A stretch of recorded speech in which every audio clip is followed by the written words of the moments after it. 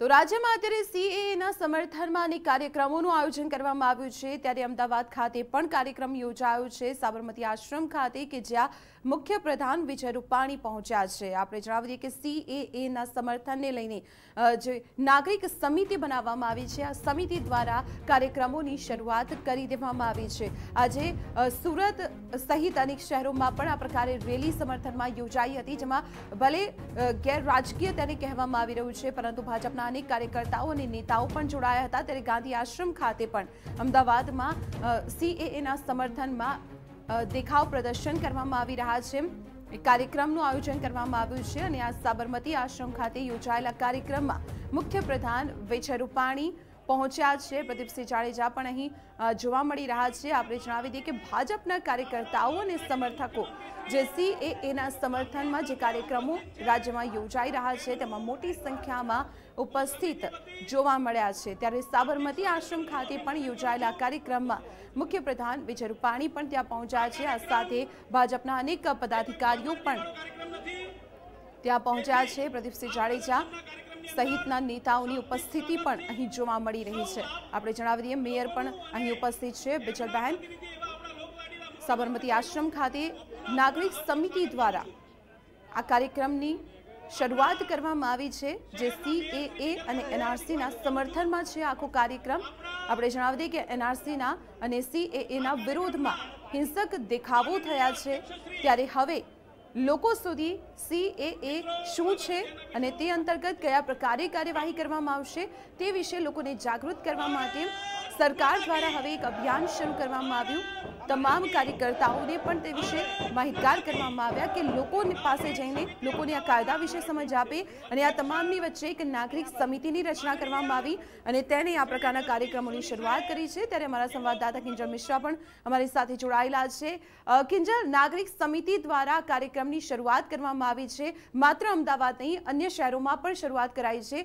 તમામ કાર્યક્રમો ભરે ગેરરાજકીય ગેર રાજકીય કહેવાતા હોય, પરંતુ ભાજપના નેતાઓ અને કાર્યકર્તાઓની ઉપસ્થિતિ અહીં વધારે જોવા મળી રહી છે. સામાન્ય જનતામાં કેટલો ઇન્ટરેસ્ટ જોવા મળી રહ્યો છે?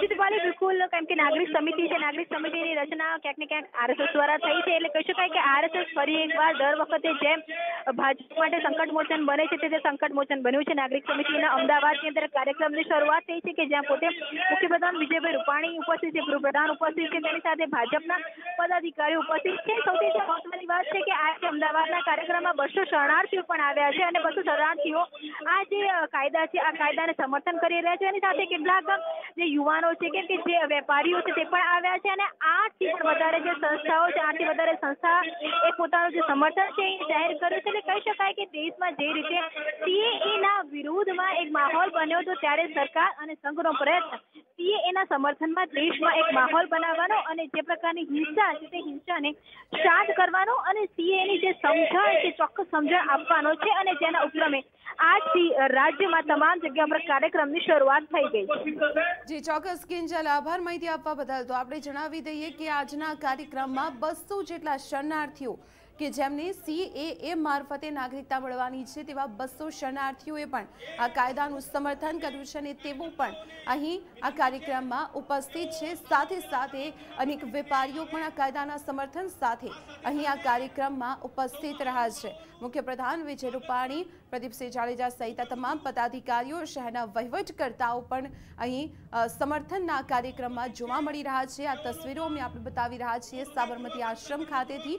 આજે રાજ્યના અન્ય શહેરોમાં પણ સીએએના સમર્થનમાં રેલીનું આયોજન કરવામાં આવ્યું હતું. સુરત, વડોદરા સહિત શહેરોમાં પણ આ કાર્યક્રમો યોજાયા હતા. જોકે હવે અમદાવાદમાં સાબરમતી આશ્રમ ખાતે સીએએના સમર્થનમાં નાગરિકતા સમિતિ દ્વારા આ કાર્યક્રમનું આયોજન કરવામાં આવ્યું છે. આરએસએસ દ્વારા આ સમિતિની રચના કરવામાં આવી છે.